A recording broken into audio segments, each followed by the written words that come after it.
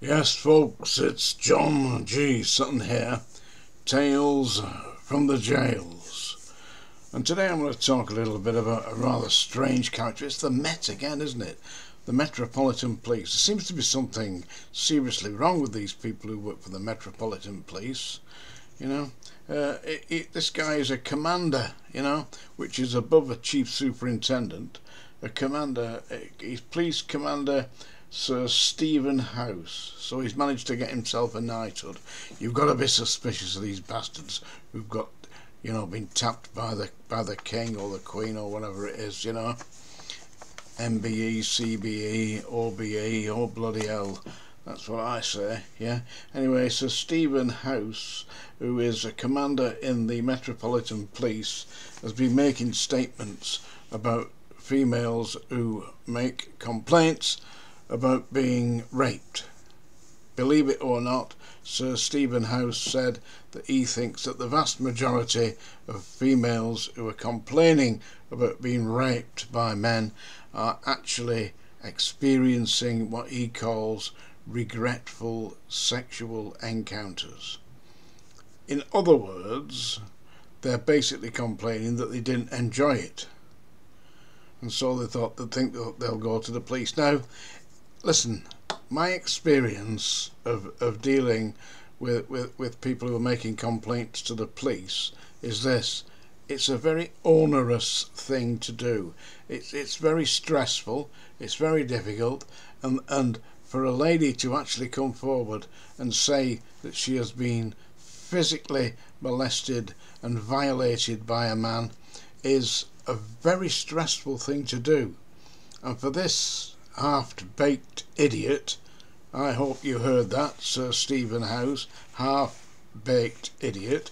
To say things like that is an insult to the integrity of the female population of this country. It's a complete insult. Uh, it, the, the ladies have, do not have the absolute integrity of their personal, but it's a violation. Goodness me. How would he like to be held down and have something inserted into his private parts? Eh? Without permission. This is diabolical. This just shows how out of touch the Metropolitan Police, or certainly this half baked idiot commissioner, is out of touch with reality.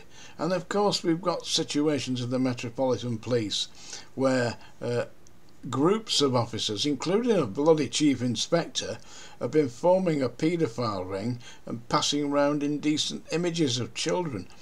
What kind of pervert wants to do that? I mean, this. I mean, obviously, they are mentally ill. But mentally ill people, people who are psychologically damaged, should not, under any circumstances, be put in positions of authority whereby they have discretions over over the general population, and to a certain extent the police do. I mean, we look upon the police to actually protect us and to come in our hour of need.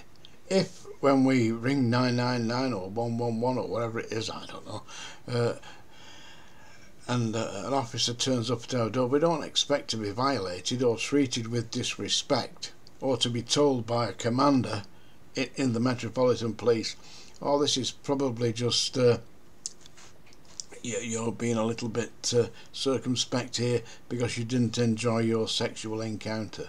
What kind of a nutcase does that? The Metropolitan Police, folks. That's what does it. And and now they're actually saying they've actually admitted that they are not interviewing police candidates on a face-to-face basis. They're doing it. You fill in a form, you know. It's Matt, what's your name, Ronnie Biggs. Do you have any criminal convictions? Uh, I want to be a policeman, so no, I don't have any criminal convictions. No. Yeah. Are you a law-abiding citizen? Well, yeah. Well, I'm not robbing trains and violating people and generally acting as a mug for the for the mob. Yeah, I'm a law-abiding citizen. I do what Ronnie and Reggie say anyway. Oh, the idiots! Eh? I mean, it, what half-baked idiot doesn't it's probably Commander Sir Stephen House, yeah. But they've got a think tank in, in uh, Westminster. Somebody wants to get hold of the think tank and rattle the bastard heads together. Together, they don't believe me that they've got a think. There's been programs on Radio Four about this think tank. They come up with crazy ideas, crazy ideas, folks. Yeah, whereby they say, "Oh, I know what we'll do. Uh, we'll extend the motorways. We'll get rid of the uh, hard shoulder. Yeah, get rid of the hard shoulder. Let's call it smart motorways. Yeah." It's that kind of smart motorway that if you break down, you get a 20 ton truck up your ass. 60 miles an hour. They go 58 miles an hour, don't they? Mm. But you get one of them ramming in the back of your uh, 1972 Mini Countryman. Eh? You'll soon find out about that, won't you? What bloody cuckoo thought of that? There's not only that. I mean, you, you've got to look at it this way they're recruiting into the police now. They say they openly want to recruit diverse, so they're actually discriminating against large white males, discriminating against them, and recruiting small ethnic minority females. So that when you press 999, because there's a, a gang of louts outside your house, you get some 5 foot 2 inch, 22 year old young lady comes, don't do it, otherwise I hit you with my handbag. That kind of bollocks. Eh? It's the same thing in the prisons, isn't it? I told you about this uh, prison advertisement that they've got, where they've got this half-baked woman. I mean, she's all right, I suppose. I mean, I keep going on this half-baked. They just don't seem to me to be thinking straight, you know? That's why I say half-baked. They're not thinking straight. Anybody can be a prison officer. I mean, you can't say that. Not anybody can be a prison officer. It takes a certain degree of integrity and a, a, a, firmness of mind and determination to deal with the people that you're dealing with.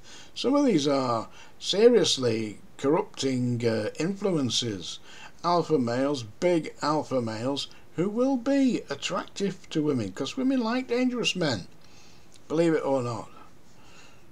They, for some reason they do, and they get themselves into that position in the prison service where they find themselves running drugs or, or smuggling tobacco and all sorts of mobile phones, SIM cards, all that, taking that stuff into prisons for them. And then they end up banged up themselves.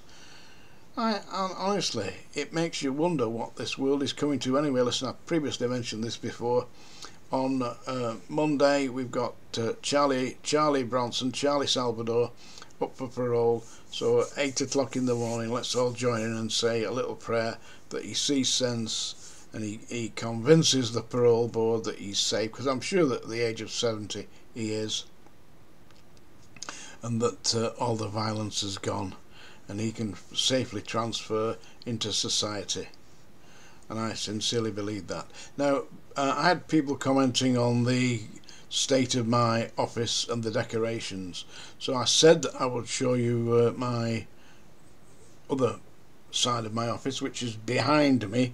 Yeah, there's quite a lot of this, you know. It's all crazy, I know. My wife hates the place. She refuses to tidy it up, so it's a bloody tip. Uh, well, my desk is a tip anyway. The rest of it's fairly a tip as well. Here we go, I'll show you the back, the rest. Here we go. I think I'll be able to see this. See if you can see Batman behind me. There we are. Oh, there's the there's the Joker, yeah.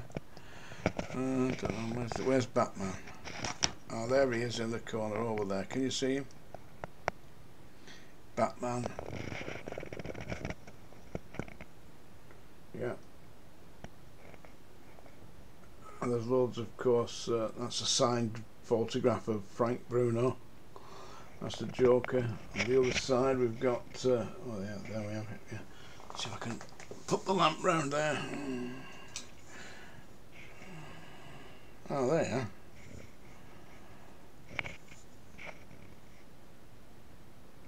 See that? That's a warthog. Just up there a little bit, you'll see that. Can you see that? That's a, a sign from a, ghost train. proper one. It's a, it dates back to the 1960s, I believe, 1960s, yeah. And uh, there's foxes' heads and uh, horns. One of my top hats. Uh, there you can see at the back that is a wild boar, the head of a wild boar. That dates from 1878 in France and it was on display in a pub called the Boar's Head in Deansgate, Manchester. And that was there for a good 40 years, I suppose, yeah. You can see my banjo down there and my Ovation Celebrity Deluxe guitar. And uh, as I say, there's the Joker. There's Batman in the back. You can just about see Batman, I suppose, yeah. My jukebox what else have we got? Oh yeah, we've got the hanging man that's hanging from the wall up there. And uh, down there we've got, you can see what a tip it is. And that's my uh, 1950s Grundig uh, Magic Eye radio, which works very well by the way. And that's a picture of my old E-type Jag.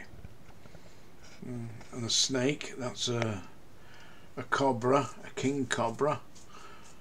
You can see that, yeah another warthog and of course you, you've seen a lot of the rest of it.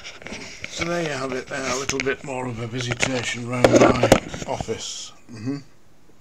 so now we've got to the point where I'm going to make a horrible noise again.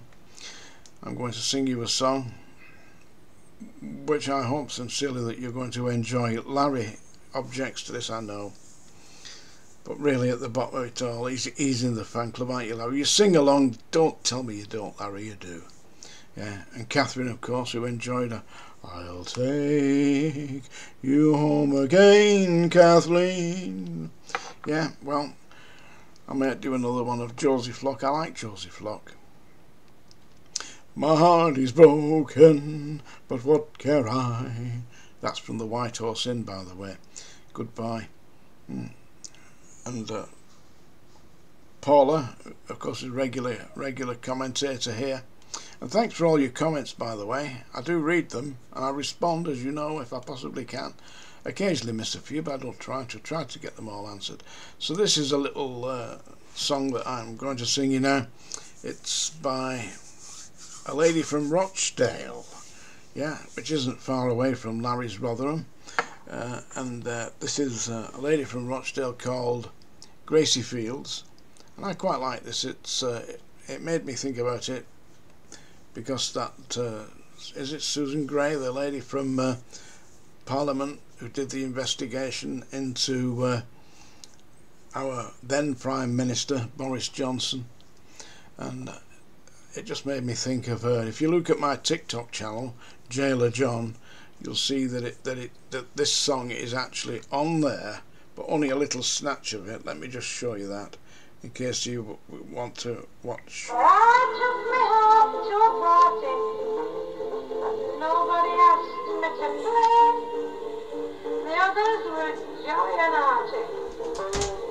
I wasn't feeling so there you go so that's what I put up there on my uh, TikTok channel for Jailer John. Now I'm going to sing you a little song now, which is that song, I Took My Harp to a Party. I remember a Christmas gone by when I was extremely upset. A night in December, an evening that I would very much rather forget. For I took my harp to a party, but nobody asked me to play. The others were jolly and hearty, but I wasn't feeling so gay. They might have said, play us a tune we can sing, but somehow I don't think they noticed the thing. I took my harp to a party but nobody asked me to play, so I took the damn thing away. They asked Mrs. Morgan to play her mouth organ, and somebody else did a dance. They let Mrs. Carter perform a sonata, but I wasn't given a chance. A North Country person called Sandy McPherson played bagpipes and took off his coat, while both the Mrs. Forces burst out of their corsets in trying to make the top note. But I took my harp to a party and nobody asked me to play. The others were jolly and hearty, but I wasn't feeling so gay. I felt so ashamed as to not striking a note that I tried to hide the thing under me coat. I took me harp to a party, but nobody asked me to play. So I took the damn thing away. They sang Home Sweet Home on the banks of Loch Lomond, and as the king's horses, then trees, when nephews and nieces kept playing their pieces and spreading their jam on the keys. A daughter called Laura played her concertina we all played ridiculous games. I, old Mr. Dyer, set his whiskers on fire, and a fire engine played on the flames. Oh, I took my harp to a party, and nobody asked me to play. So I took the damn thing away. Thank you very much. That's Tales from the Jails today. Not that that little lot had anything to do with it. But hey, Charlie Bronson, Charlie Salvador on Monday. Good luck, mate.